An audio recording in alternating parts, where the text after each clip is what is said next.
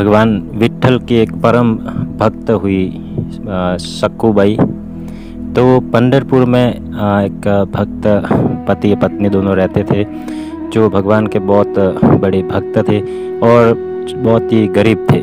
लेकिन उनकी गरीबी के बावजूद भी वो भगवान की भक्ति से संतुष्ट थे और भगवान से वो हमेशा यही प्रार्थना करते कि उनको एक ऐसी संतान दे भगवान जिससे उनकी जो भक्ति है, वो भक्ति और आगे बढ़ती रहे और वो भगवान की भक्ति में और स्थिर बने रहे। तो उनके घर में एक बच्ची का जन्म हुआ और वो बच्ची जो है, उनके माता पिता की भगवान की सेवा में सहायता करती, भगवान के लिए फूल तोड़ के लाती, भगवान की आरती की प्लेट सजाती और भगवान के लिए चंदल घिस के भगवान को अर्पण करने के लिए थाली में सजाती। तो इस तरह से जो है वो अपने माता पिता की, भगवान की सेवा में पूरे दिन सहायता करती रहती। भगवान के लिए अलग अलग भोग बनाती और भगवान के लिए बहुत ही अच्छे अच्छे भगवान के लिए भजन गाती। तो इस तरह से जो है वो भगवान की बहुत अच्छे से सेवा करती अपने माता पिता के साथ में। कृष्णा नदी के पास में कारवरीपुरम एक जगह थी, वहाँ पे एक पंडित रहते थे। तो वो पंडित जो है, बहुत ही ज़्यादा कंजूस थे। और उनकी जो पत्नी थी वो पत्नी जो है हमेशा ही झगड़े के मूड में रहती और पूरे दिन घर में भी झगड़ा करती और दूसरे लोगों से भी वो जो है झगड़ा करती रहती। तो इतना पैसा होने के बाद में भी जो है वो बहुत ज़्यादा कंजूस थे और इतना कंजूस व्यक्ति था कि वो जो खाना खाने के बाद में अपना हाथ भी नहीं धोता था आ, क्योंकि वो सोचता कहीं हाथ धोते वक्त कहीं अनाज का दाना नीचे गिर गया तो कोई कोआ जो है उसे खा लेगा। तो इस वजह से उसका नाम जो है लोगों ने कृपण राय रख दिया था कंजूसों में जो सर्वश्रेष्ठ है। उनकी जो पत्नी, वो जो है हमेशा सबको परेशान करती थी, उसका नाम था गैयाली बाई उनका एक पुत्र था, जिसको कुछ भी नहीं आता था, जिसका नाम था ओडू राया तो उसके पिता ने उसको भी जो है वेद शास्त्र में पारंगत किया था, लेकिन फिर भी वो उसे भी अपनी तरह से जो है पूरा कंजूस टाइप में बना दिया था उसके माता पिता ने। लड़का बड़ा हुआ तो उनके घर वाले उसके लिए, शादी के लिए लड़की ढूँढने लगे, लेकिन आसपास के लोगों को पता था, इसलिए उनको कोई लड़के देना नहीं चाहता था। तो एक दिन जो है वो पंडरपुर आए और पंडरपुर में सखूबाई के घर में जैसे ही गए तो उन्होंने बहुत अच्छे से स्वागत किया और सखूबाई ने जो है उनकी बहुत अच्छे से सेवा की और उनका अच्छे से स्वागत किया गया। खूबई को देखते ही उनको लगा कि ये जो लड़की है वो एकदम सही है हमारे पुत्र के लिए। और चूँकि वो गरीब घर से थे तो उन्होंने जो है उनकी सकूबाई की और उनकी सेवा से संतुष्ट होकर उन्होंने कहा कि हम जो है तुम्हारी पुत्र की शादी हमारे पुत्र से कराना चाहते हैं।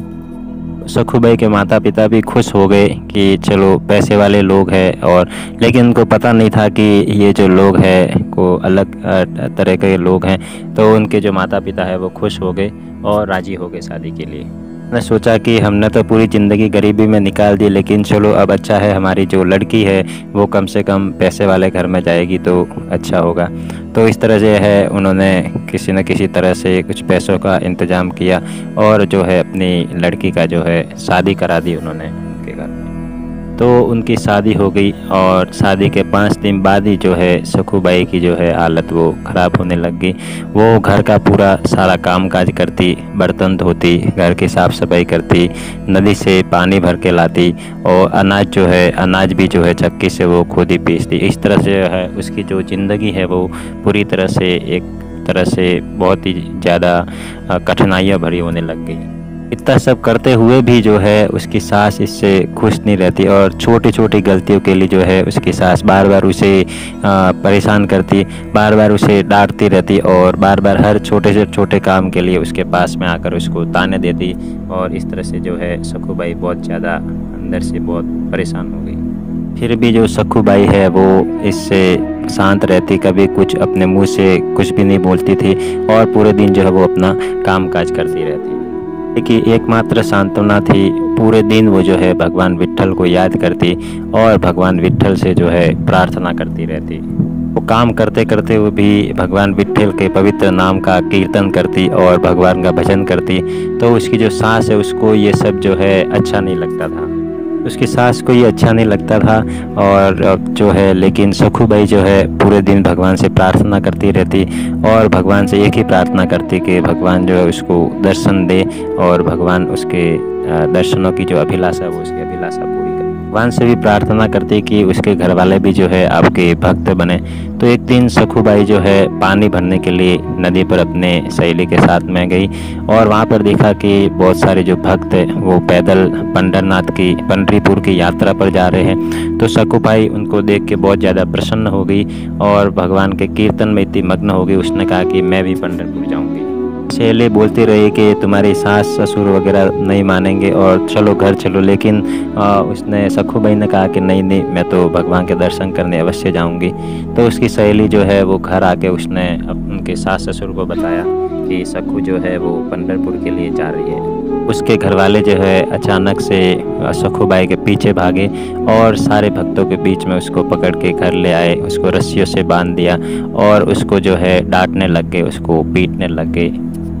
लेकिन सखूबाई जो है सिर्फ़ भगवान के दर्शन के लिए ही पूरे दिन जो है सोचती रही। उसके सास ससुर जो बोल रहे थे, उसको कुछ भी पता नहीं चल रहा। वो सिर्फ़ भगवान के ध्यान में, भगवान के दर्शन के लिए ही सोचती रही। जो वो है, भगवान से प्रार्थना करते करते आधी रात हो गई। उसके घर वाले सो गए। तो प्रार्थना करते करते जो है, भगवान को भी सहन नहीं हुआ और आधी रात को जो है, भगवान वहाँ पे प्रकट हो गए। कर्ज लक्षण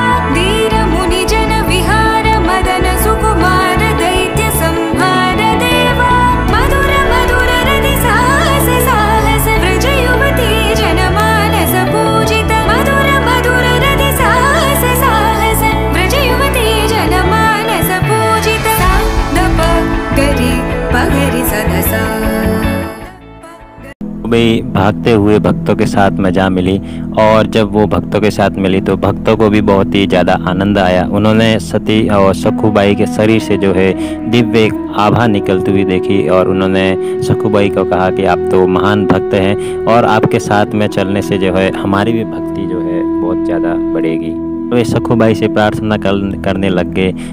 ये सिर्फ़ आपकी वजह से जो है हम भगवान पंडरीनाथ के दर्शन कर पाएँगे इस बार क्योंकि आप जो है भगवान की महान भक्त हैं। सारे भक्त जो है सखूबाई की भक्ति की प्रशंसा करने लग गए।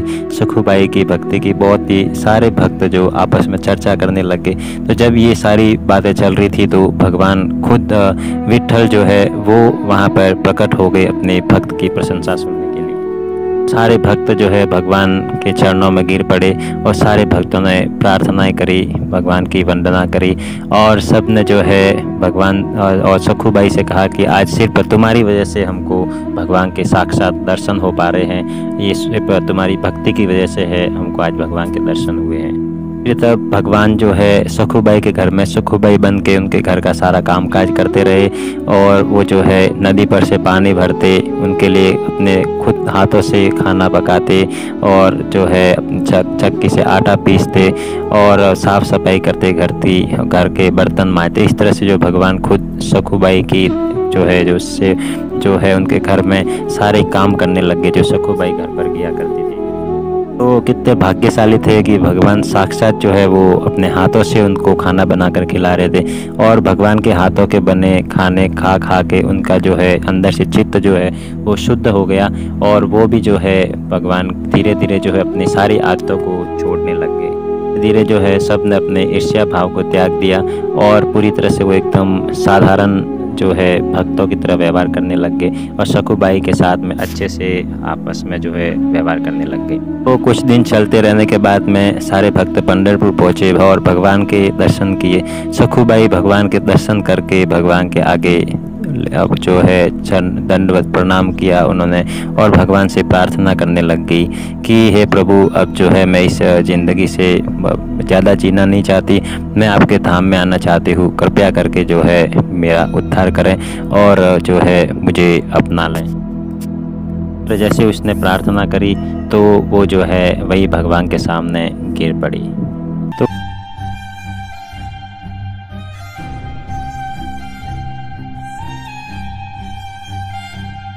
सारे भक्तों ने जो है सुखुबाई के शरीर को वहीं पे जो है उनका दाह संस्कार किया।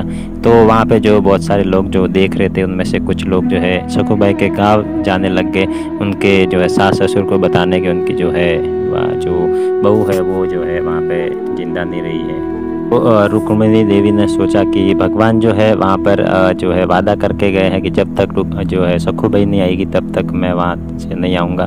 तो अब भगवान वहाँ से आएँगे कैसे? क्योंकि सखू भाई तो ज़िंदा है नहीं? तो इस तरह से रुक्मिणी माता जो चिंतित हो गई।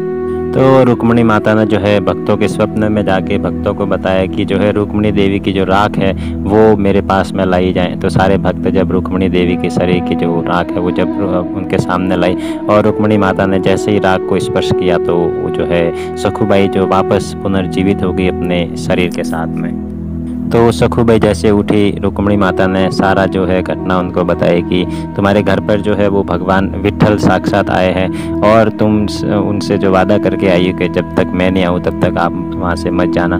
तो जो है भगवान तुम्हारी जगह वहाँ पर सारा काम कर रहे हैं। कृपा करके अपने घर जाओ और भगवान को मेरे पास में भेजो, मैं भगवान का इंतज़ार कर रही हूँ।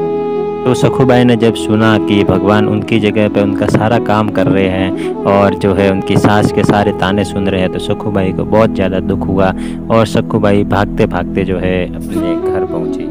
तो जब सखूबाई अपने गाँव पहुँची तो वो देखा कि भगवान जो है सखूबाई के बेस में नदी से पानी भरकर उनके घर जा रहे हैं। तो सखूबाई उनको देखते ही तुरंत ही रो पड़ी और भगवान के चरणों में गिर पड़ी। भगवान से क्षमा याचना करी और भगवान से माफ़ी मांगने लगी कि आज मेरी वजह से आपको जो है सारे ये काम करने पड़ रहे हैं। भगवान ने भी सखूबाई को आशीर्वाद दिया और भगवान ने कहा कि मैं तुम्हारी भक्ति से बहुत ज़्यादा प्रसन्न हूँ और तुम्हारी भक्ति की वजह से ही मैंने जो है ये जो है अवस्था प्राप्त की है और मैं तुम्हारी भक्ति की वजह से बहुत ज़्यादा खुश हूँ। और भगवान ने सकुबे का आश्वासन दिया कि बहुत जल्दी है तुम्हारे घर वाले भी सारे भक्त बन जाएँगे और तुम्हारी भक्ति की वजह से जो तुम्हारा पूरा गाँव भक्त बनेगा और तुमको बार बार मेरे दर्शन का जो मौका मिलता रहेगा। तो इस तरह भगवान आशीर्वाद दे के वहाँ से गायब हो गए। तो यहाँ हम देख सकते हैं कि भगवान जो है अपने भक्तों की इच्छा पूरी करने के लिए एक आ, कुछ भी कर सकते हैं। यही बात उद्धव जी भी कहते हैं कि मुझे यही बात सबसे ज़्यादा दुख देती है कि इतनी उच्च पोजीशन पर होने के बावजूद भी भगवान जो है अपने भक्तों की जो आज्ञा का पालन कर रहे हैं और भगवान अपने भक्तों के अधीन हो जाते हैं, यही बात मेरे को सबसे ज़्यादा भगवान की अच्छी लगती है। भगवान अपने भक्तों के प्रति जो है इतने उदार है, लेकिन भगवान की ये उदारता देखकर हमारे हृदय को जो है बहुत ज़्यादा दुख होता है।